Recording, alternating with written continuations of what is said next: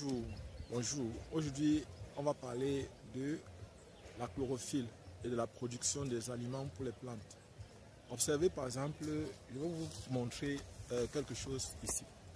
Regardez par exemple, euh, c'est ça, c'est du manioc. C'est vrai, ce manioc est malade. On va parler de sa maladie, mais ce n'est pas de ça surtout qui m'intéresse. C'est pas tout ça. Regardez, regardez encore d'autres plantes de manioc. Observez par exemple, vous voyez par exemple ce plant de manioc, c'est vrai, ça souffre de ce qu'on appelle la mosaïque africaine. Mais avant ça, observez un peu la tige. Regardez au niveau des tiges.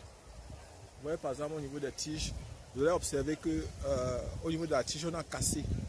On a cassé les tiges de ce manioc. Cette tige de manioc. En fait, euh, vous devez savoir une chose, c'est que euh, la personne, le promoteur de ce champ m'a fait comprendre que il cassait, on lui a fait part du fait qu'en cassant la tige de manioc, ça devait produire encore plus de manioc. C'est-à-dire que ça devait permettre à la racine, à, la tubercule de, grossir. Or, le problème c'est quoi? C'est que pour que la tubercule grossisse, il fallait suffisamment labourer le sol, il ne faut pas que le sol soit très dur. Et c'est une erreur très grave, c'est-à-dire on l'a trompé. Il lui dit, on a trompé cette personne. Donc si un jour vous voulez que par exemple votre manioc soit costaud, votre manioc soit gros, Lorsque vous coupez par exemple les tiges de manioc, il n'y a plus les feuilles. Vous cassez toutes les feuilles, il n'y a plus les feuilles sur le manioc. Comment est-ce que le manioc va grossir? Parce que la nourriture du manioc, les racines, le rôle des racines, c'est de tirer l'eau et les éléments nutritifs à partir des écorces. Les, les écorces vont acheminer l'eau et les éléments minéraux au niveau des feuilles.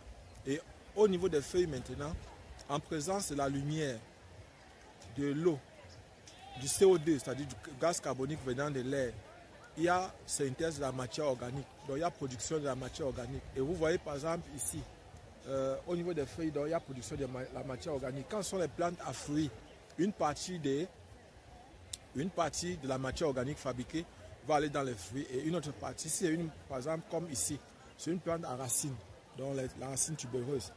Donc c'est une plante à racines, ce qui fait qu'une bonne partie de la nourriture va donc aller au niveau des, des racines. Voilà donc ce qui se passe avec euh, le manioc. Donc si vous coupez les feuilles, les tiges, vous devez casser, peut-être c'est pour faire le coin, pour faire les aliments, comme on retire souvent, soit pour nourrir, vous pouvez retirer ça. Il faut être sage, on ne peut pas tout couper. Vous ne devez pas enlever toutes les feuilles sur un arbre.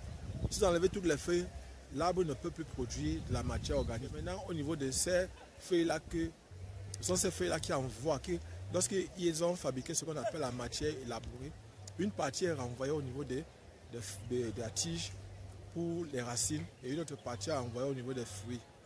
Donc voilà ce que nous avions à partager avec vous. Et s'il vous plaît, le manioc est une plante très rentable. Avec un hectare de manioc simplement, vous pouvez vous retrouver entre les gagner énormément d'argent. Je vous ai dit, le manioc est une plante sérieusement et extrêmement rentable. Et pour faire un bon champ de manioc, le conseil que vous donne, c'est qu'il faut labourer les champs. Il faut labourer. Pourquoi? Parce qu'il faut que le manioc soit capable de se promener dans le sol facilement. Lorsque vous labourez, vous faites les lignes.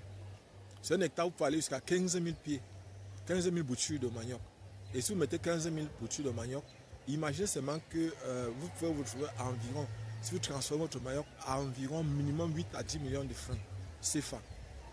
environ 8, je précise bien, environ 8 à 10 millions de francs CFA sur un seul hectare de manioc. Donc personnellement, il peut que vous conseiller de vous lancer si vous avez la volonté, si vous avez les espaces. Et il y a beaucoup de personnes qui m'ont dit qu'ils n'ont pas les espaces pour pouvoir lancer leur plantation de manioc. Je voudrais vous dire, il y a les plantations aux environs de Yaoundé, en Côte, en Banjok, à Pachenga, dans le Mbame dans le Mbame Nougou, tous ceux qui sont proches de Yaoundé. Il y a les espaces partout. Vous pouvez trouver des espaces que vous pouvez louer pour un an. D'habitude, la location, c'est entre 25 et 50 000. Parfois, vous allez trouver à 25 000, à 30 000 l'année. Il précise bien. Et si vous mettez par exemple le maillot, vous devez prendre les maillots qui ne durent pas, les maillots qui durent maximum un an. Et quand vous mettez le maillot d'un an, à partir de 8 mois, 9 mois, vous pouvez récolter. Vous pouvez récolter à partir de 9 mois, 10 mois. Et imaginez un peu ce que vous pouvez gagner sur un hectare de maillot. Donc personnellement, pour ceux qui veulent se lancer, vous pouvez vous lancer. Et c'est une plante sérieusement rentable de précise. Euh, Abonnez-vous, partagez la vidéo. Je suis Jacques Camden du groupe de répétition Nable à Yaoundé au Cameroun. Si donc, euh, comme c'est ainsi que vous devez laisser votre, votre tige. Regardez comment vous devez faire. Observez par exemple, ça c'est toujours une tige. Vous voyez par exemple cette tige ici. Il s'agit ici d'une tige de manioc. C'est comme ça que vous devez laisser votre manioc pousser. Vous voyez par exemple qu'à la fin, vous pouvez vendre même les boutures. Ces boutures peuvent être vendues. C'est-à-dire lorsque vous regardez ces boutures-là, ces boutures-ci peuvent être vendues. Donc le conseil que je vous donne, si vous êtes fonctionnaire, vous êtes étudiant, vous pouvez lancer un hectare. Rien ne vous empêche de faire ça. Vous pouvez lancer votre champ et à la fin, vous vendez les produits de votre champ. Il vous ai dit, le manioc est très très très très rentable. Observez par exemple, bien que les boutures, vous pouvez vous retrouver entre les gagnants entre 2 et 4 millions uniquement sur les boutures. Imaginez par exemple un champ où vous avez suffisamment les boutures. Je vous dis, vous pouvez vous retrouver entre les gagnants entre 2 et 4 millions uniquement sur les boutures. Et sachez que si c'est par exemple du manioc sélectionné, vous pouvez vous retrouver entre les gagner sérieusement d'argent. Donc, personnellement, je ne peux que vous conseiller de vous lancer, que vous soyez fonctionnaire, que vous soyez par exemple étudiant, que vous soyez par exemple une personne qui a fréquenté ou qui n'a pas fréquenté partout dans le monde, particulièrement en Afrique. Le manioc est un business sérieusement rentable. Sérieusement, je précise bien, business sérieusement rentable. Lancez-vous, lancez-vous, lancez-vous. C'est un business qui peut vous rapporter énormément d'argent. Énormément. Et actuellement, c'est le moment où il faut préparer les champs. Il faut défricher et laisser que ça sèche. C'est au mois de mars que les pluies vont commencer. Comme chez nous en Afrique, on mise sur Dieu. C'est-à-dire qu'il faut attendre que Dieu envoie les pluies. On est obligé de préparer les terres maintenant, de cultiver, de défricher. À partir de décembre, janvier, on défriche février, on défriche, on laisse ça sèche. Et au mois de mars, on brûle pour déjà nettoyer et commencer à labourer.